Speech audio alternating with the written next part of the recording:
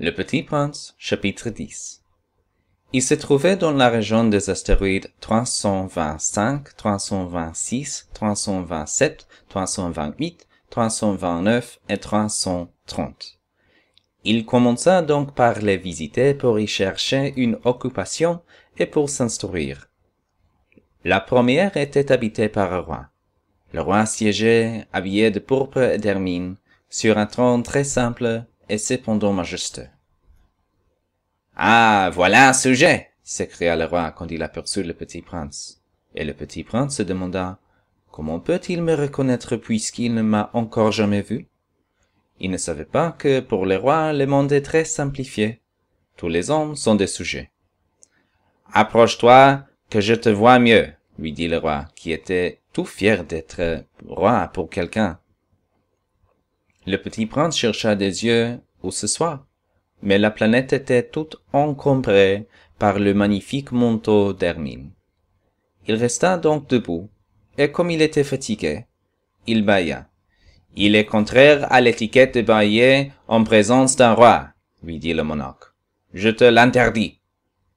Je ne peux pas m'en empêcher, répondit le petit prince tout confus.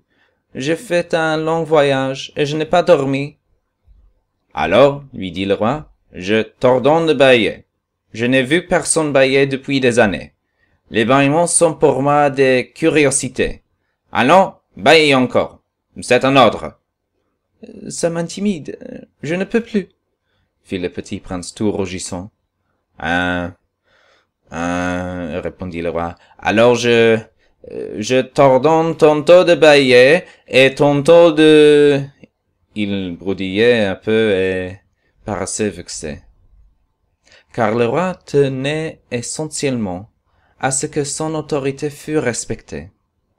Il ne tolérait pas la désobéissance. C'était un monarque absolu. Mais comme il était très bon, il donnait des ordres raisonnables. Si j'ordonnais, disait-il couramment, si j'ordonnais à un général de se changer en oiseau de mer, et si le général n'obéisse pas, et si le général n'obéissait pas, ça ne serait pas la faute du général, ce sera ma faute. Puis-je m'asseoir? s'enquit timidement le petit prince. Je t'ordonne de t'asseoir, lui répondit le roi, qui ramena majestueusement un pan de son manteau d'hermine. Mais le petit prince s'étonnait. La planète était minuscule. Sur quoi le roi pouvait-il bien régner? Sire, lui dit-il, je vous demande pardon de vous interroger.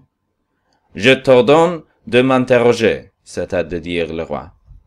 Sire, sur quoi régnez-vous? Surtout, répondit le roi, avec une grande simplicité. Surtout? Le roi d'un geste discret désigna sa planète, les autres planètes et les étoiles. Surtout ça? dit le petit prince. Surtout ça, répondit le roi. Car non seulement c'était un monarque absolu, mais c'était un monarque universel. Et les étoiles vous obéissent? Bien sûr, lui dit le roi. Elles obéissent aussitôt. Je ne tolère pas l'indiscipline. Un tel pouvoir émerveilla le petit prince. S'il avait détenu lui-même, il aurait pu assister non pas à quarante-quatre, mais à soixante-douze, ou même à cent, ou même à deux cents couchers de soleil dans la même journée sans avoir jamais attiré sa chaise. Et comme il se sentait un peu triste à cause du euh, souvenir de sa petite planète abandonnée, il s'enhardit à solliciter une grâce du roi. Je voudrais voir un coucher de soleil. Faites-moi plaisir. Ordonnez au soleil de se coucher. Si j'ordonnais à un général de voler d'une fleur à l'autre, à la façon d'un papillon, ou d'écrire une tragédie, ou de se changer en oiseau de mer, et si le général n'exécutait pas, pas la route reçue, qui, de lui ou de moi, serait dans son tort? Ce serait vous, dit fermement le petit prince. Exact. Il faut exiger de chacun ce que chacun peut donner, reprit, le roi. L'autorité repose d'abord sur la raison. Si tu ordonnes à ton peuple d'aller se jeter à la mer, il fera la révolution. J'ai le droit d'exiger l'obéissance parce que mes ordres sont raisonnables. à l'homme au coucher de soleil, rappela le petit prince qui jamais n'oubliait une question une fois qu'il avait posé. Ton coucher de soleil, tu l'auras, je l'exigerai, mais j'attendrai dans ma science du gouvernement que les conditions soient favorables. Quand ça sera-t-il? S'informa le petit prince? Euh, euh, lui répondit le roi, qui consulta d'abord un gros calendrier. Euh, euh, ce sera vers, euh, vers, ce sera ce soir vers sept heures quarante, et tu verras comme je suis bien obéi. Le petit prince bâilla. Il regrettait son coucher de soleil manqué. Et puis, il s'ennuyait déjà un peu. Je n'ai plus rien à faire ici, dit-il au roi. Je vais repartir. Ne pars pas, répondit le roi, qui était si fier d'avoir un sujet. Ne pars pas, je te fais ministre. Ministre de quoi? De, de la justice. Mais il n'y a personne à juger. On ne sait pas, lui dit le roi. Je n'ai pas fait encore le tour de mon royaume. Je suis très vieux. Je n'ai pas de place pour un carrosse et ça me fatigue de marcher. Oh, mais j'ai déjà vu, dit le petit prince qui se pencha pour jeter encore un coup d'œil sur l'autre côté de la planète. Il n'y a personne là-bas non plus. Euh, tu te jugeras donc toi-même, lui répondit le roi. C'est le plus difficile. Il est bien plus difficile de se juger soi-même que de juger autrui.